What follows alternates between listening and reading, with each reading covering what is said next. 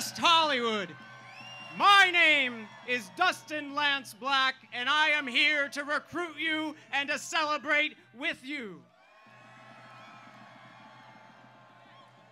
Because today, today, freedom and equality yet again ring in the great state of California. And this time, this time, no one will ever, ever take it away from us again.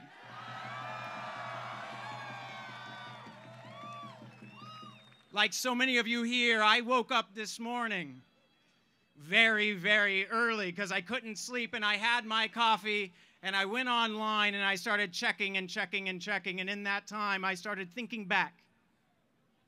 I started thinking about back to the hundreds and hundreds of thousands of gay and lesbian, bisexual, and transgender people who, over the decades, were brave enough to come out when it was difficult to come out, to share their stories when that was not easy. That's right. Who gave us their names, and so many who gave us their lives and couldn't be with, here with us today for this celebration. And I think about them.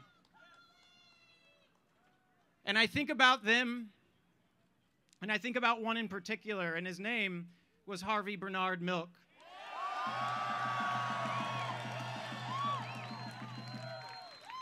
And Harvey Bernard Milk, our dear hero, one of our father figures, he said to anyone who would listen in the waning days of his life, he said, We can no longer be satisfied with crumbs. It is time that this community stop asking for crumbs and demand the real thing because they may find that they could actually get it, and we have today. And he said to anyone who listened that if we're ever going to win equality for all, it is time to stop asking for crumbs and to start demanding equality from the federal government. And we've done that today, and we have won. So I thought of my forefathers, but I also thought about almost every single one of you who have also given your lives and your stories and your names to this movement so that we could be here today. And I want to thank all of you, and I want to congratulate all of you for going out there and winning freedom today, winning equality today, winning respect and protection for your families and your future families today. Congratulations for that.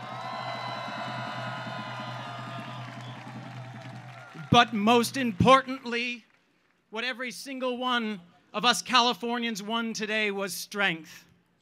We won strength. And we did it with our blood and our sweat and our tears and our stories and our lives and our love.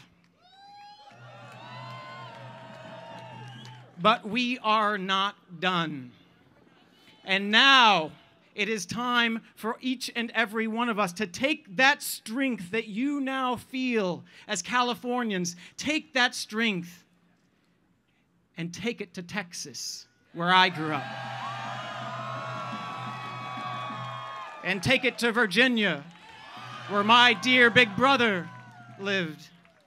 And take it to Holland, Michigan, where so many have been denied equality, and take it, please take it, to Altoona, Pennsylvania, to the place Harvey Milk talked about, and that young person who is still yearning to be free. You need to take your strength to these places and share this feeling with this nation so we no longer no longer leave a single one of our brothers or our sisters behind, no matter the love in their heart or which state they live. That is what we will do with this day. That is what we will do with this strength.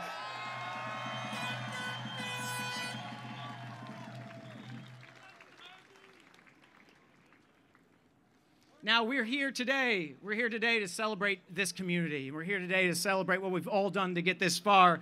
But before we hear from some of the community, and our plaintiffs and our lawyers and the team at AFER. I want to acknowledge some of the elected officials who have helped make this a reality. And I'm going to read the names of the ones who are here today Mayor Abbe Land of West Hollywood, Mayor Antonio Villaraigosa of Los Angeles, That's right. Assemblymember Richard Bloom. Los Angeles City Controller Wendy Greuel. That's right. Mayor Pro Tem John D'Amico. Councilman Jeffrey Prang. Los Angeles City Council Member Bill Rosendahl. Yeah.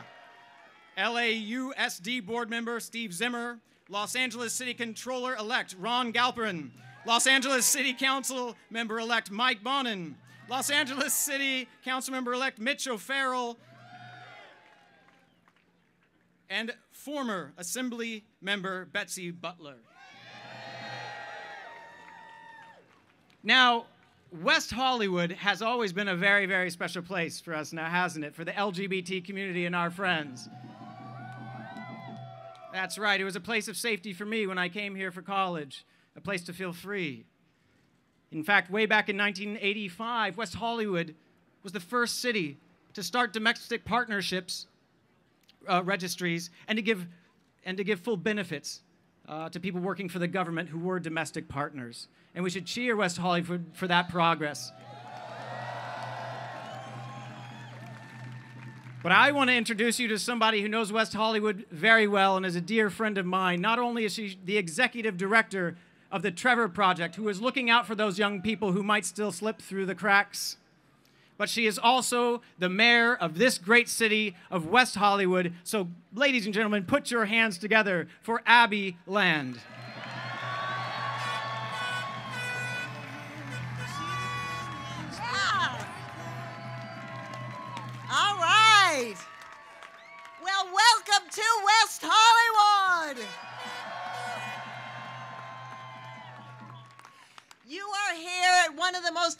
Iconic intersection, Santa Monica and San Vicente, where all LGBT activism happens. And today we are here to celebrate that activism.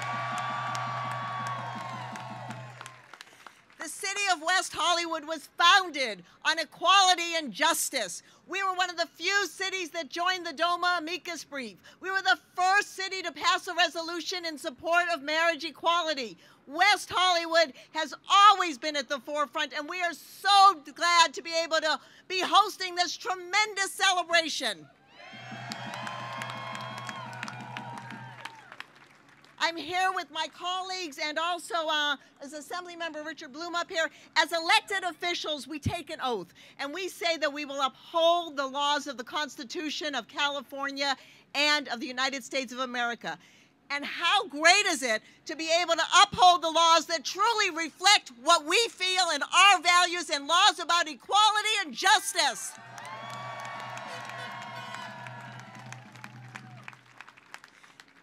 As a city council, we have been tireless in our efforts. I'm joined here by council member Jeffrey Prang. Jeffrey Prang, Prang has been a longtime advocate, not only as a council member, but also fighting with the Democratic Party to ensure marriage equality was always part of that Democratic platform. And during the summer of love, he got to marry Ray, and they are a happy couple, I must say. I'm here with my colleague, John Heilemann. John Heilemann was that person that passed domestic uh, partnerships when no one else in the country would do it. John Heilemann has worked tirelessly for LGBT equality for years.